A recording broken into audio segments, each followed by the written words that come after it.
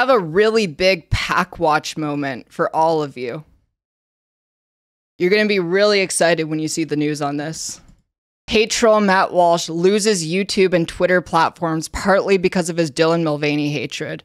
It's interesting. I knew that he got demonetized off YouTube, but Twitter is that that's not true. Is it? Notorious far right troll Matt Walsh is having a bad week, and he can thank his obsession with trans influencer Dylan Mulvaney for Monday's installment. YouTube demonetized his channel, which he claimed pulled in $100,000 a month.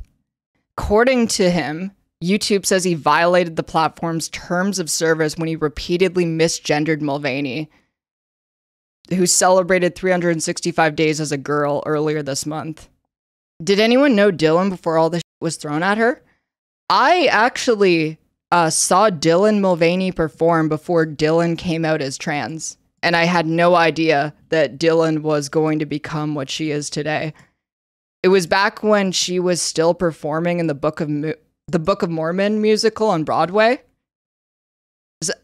Just very strange. It's kind of funny how small the world is. She was on Broadway that makes a lot of sense, right? She absolutely comes off like she's a theater kid.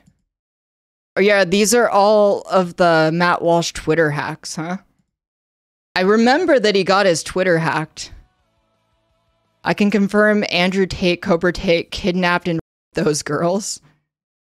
Ben Shapiro, you know what you did. You are a closeted homosexual and hide behind being Jewish. Oh my god. Joe Rogan is a pedophile. I ain't a gangsta. I'm a sassy shooter. You got a great screenshot from the hack. Let me see. Oh God, I loved this. Laverne Spicer not realizing that Matt Walsh got hacked. Asking who gave Matt Walsh the N word pass.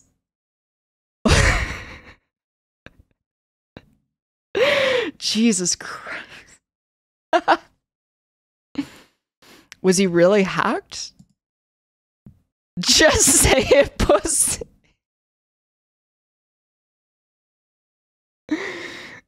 Okay.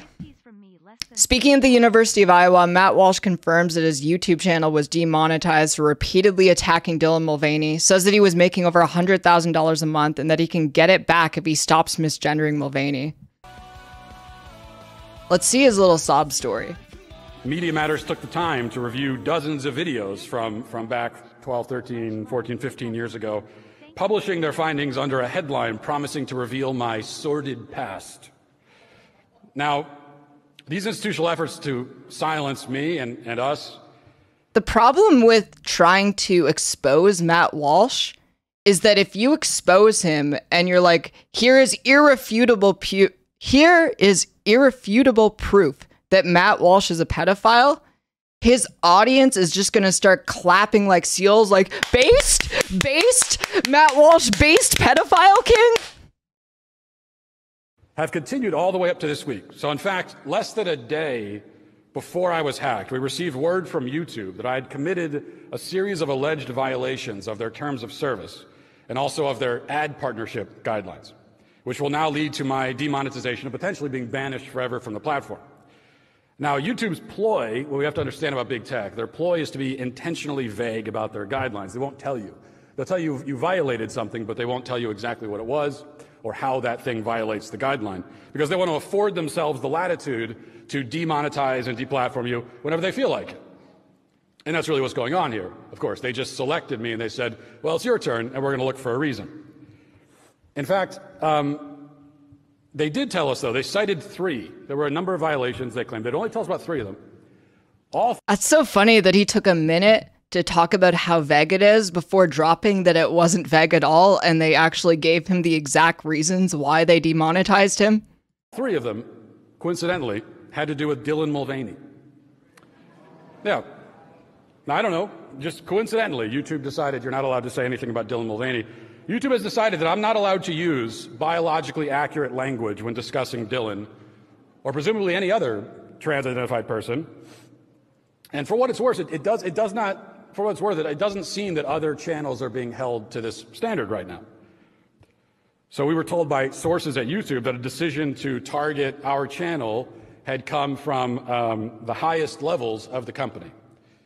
And they're looking for something, a reason to take us out.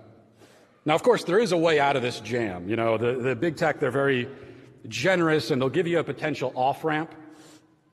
So if I simply respect the preferred pronouns and I stop accurately gendering people, then I can likely continue to do my show on the platform. I can get it remonetized after, you know, a short probationary period. And I can continue making over $100,000 a month on YouTube ads. Oh my god. It's so fucking sad. Do you see that one right wing trans girl on TikTok who said that slavery was. No. No, I, I didn't see that, in fact. Yeah, just this is so whiny. Wow, uh, I can't make a I can't make 1.2 million dollars a year off YouTube because I have to say she instead of he. But it's also really stupid too because you don't have to say she either. Like he could continuously avoid using pronoun. Like anyone who does not want to correctly gender a trans woman, he could just say they. This is such a stupid hill for him to die on, but he's a really stupid man. I'd be giving up too much for them. Yeah. Remember um, before Elon took over Twitter, when all the right wing grifters kept getting locked out of their accounts, not banned, locked out of their accounts for misgendering trans women. And then they pretended that they just got expelled from the platform forever and refused to take down the tweet that made them get locked out of their accounts. It was so pathetic. Yeah, Matt Walsh, you could just say Dylan Mulvaney, who wants us to call who wants us to call them a she. There are so many ways he could continue to be a piece of.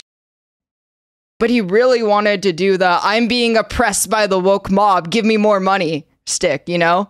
It's such a great way to continue to grift from his audience. I feel like every big right wing grifter is just praying that something like this happens to them so they can play it up and get into a news cycle about it.